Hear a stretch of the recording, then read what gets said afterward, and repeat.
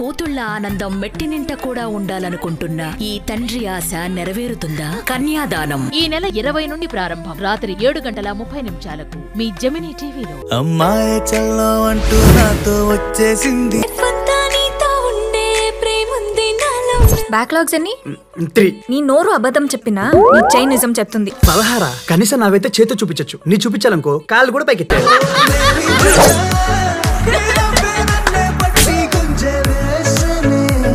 చలో ఈ రోజు సాయంత్రం ఆరు గంటలకు.